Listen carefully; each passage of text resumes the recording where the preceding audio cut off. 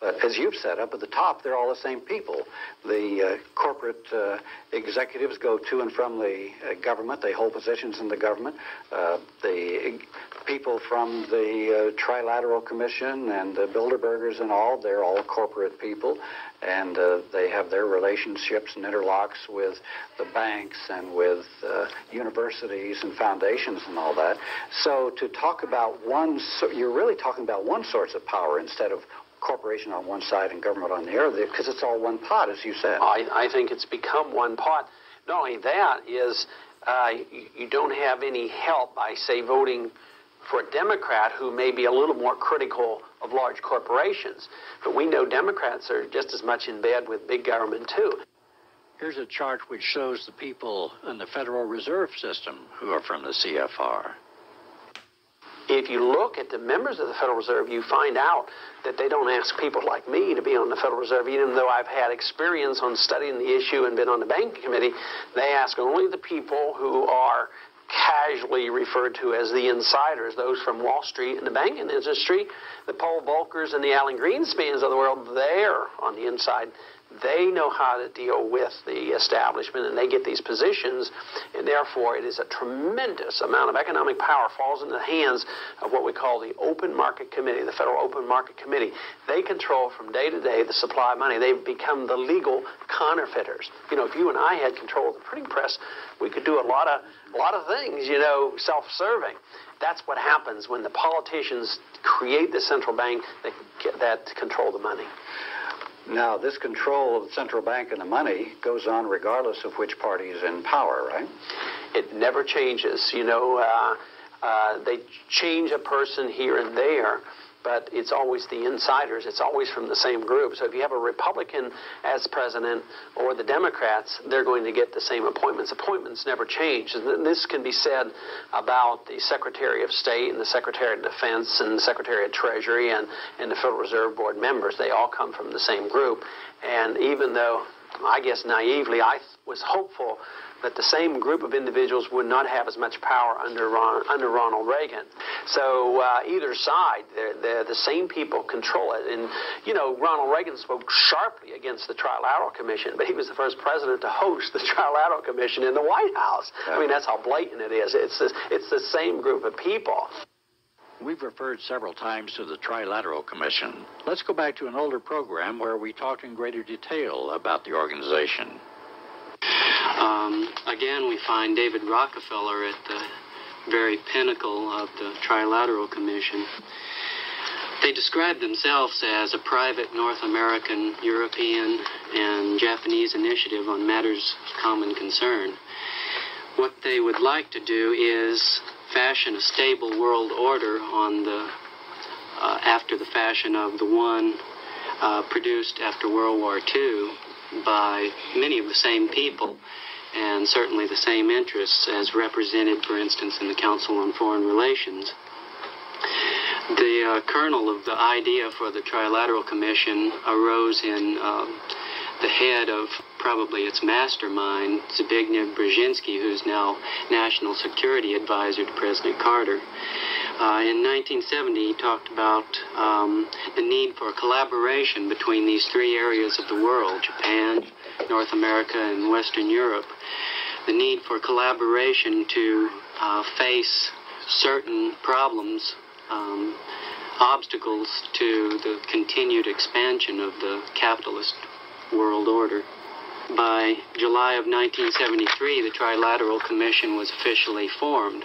Shortly after that, it's interesting to note, um, they had selected already um, now President Jimmy Carter and Walter Mondale as uh, commissioners.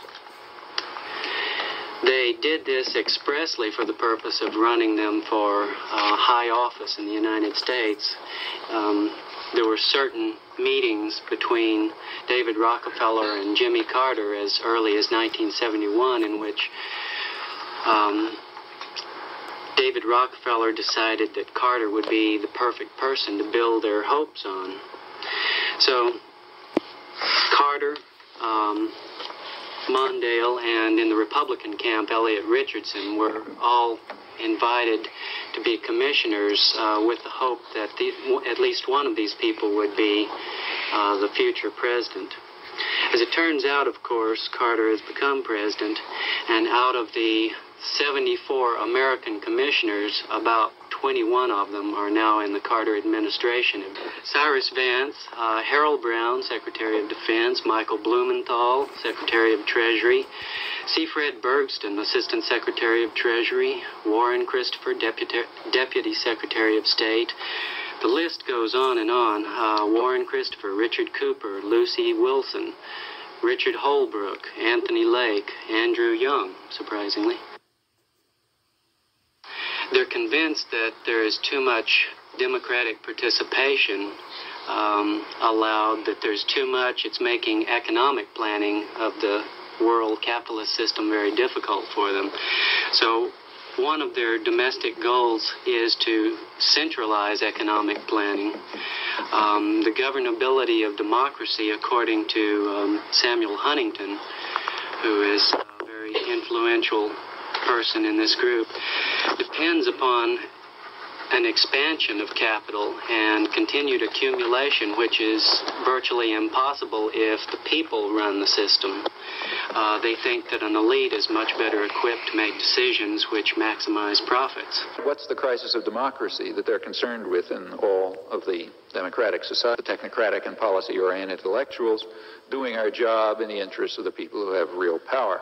What Huntington has realized is that the party system can be used very effectively to. Uh, reduce participation. In, in his words, um, apathy is very functional.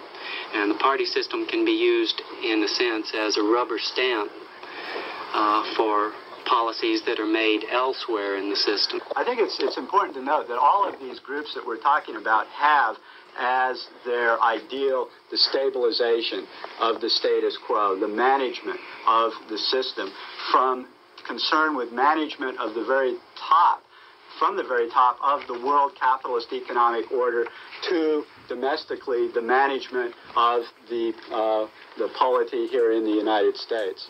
And that, that is clearly their uh, main goal. One way uh, that this is to be achieved will have to be through um, restrictions on the press, the media, and they've called for uh, restoration of the law of libel for the press, which uh, uh, people associated with the media and the press know that that could be a very dangerous kind of weapon by the government against freedom of expression. Uh, the liberals, as in the Trilateral Commission, uh, all in fact agree. Uh, they, in the same study, they say that the media threaten government authority by their adversarial stance, and they've got to be curbed. If they can't curb themselves, the government is going to have to move in to curb them. Curb them. Um, part of the policy is to have a kind of consensus, a coordination between the five or six major industrial uh, powers in the, in the world. Um, they see the need not only for, well, they, they recognize there's a great deal of interdependence now. They see the need for, for much more cooperation and coordination than there's been in the past. So they think that five or six key industrial states getting together can, in turn, dominate the major third world countries. These countries, of course, supply cheap resources, cheap labor, which are necessary for the industrialized countries. They recognize that the demands in these uh, third world countries are increasing for a greater share of the pie. So they advocate giving a certain degree of power, control, and a, a, bit larger piece of the pie to certain clientele elites within third world countries. In this way, um, the in major industrial powers can control elites in third world countries, which in turn supplied liberally with um, taxpayer funded military hardware um, would be able to subjugate their own population. What's your conclusion about the Trilateral Commission? They describe themselves, they say that they want a kind of concentric circle of decision making.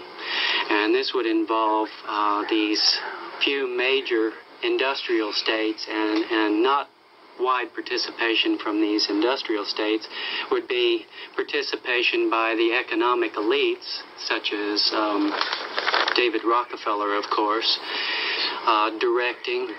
That would be the core, the central aspect of this concentric circle they talk about. Just outside that, they would involve, to a lesser extent, um, industrializing countries, the more advanced third world countries. And beyond that would be a circle of these world organizations like uh, the World Bank, the IMF, and other international agencies, which would establish the, rec- uh, the regulations by which third world countries and um, all other industrialized countries would be regulated. The, the hope is, of course, to coordinate, to stabilize, and to reduce competition.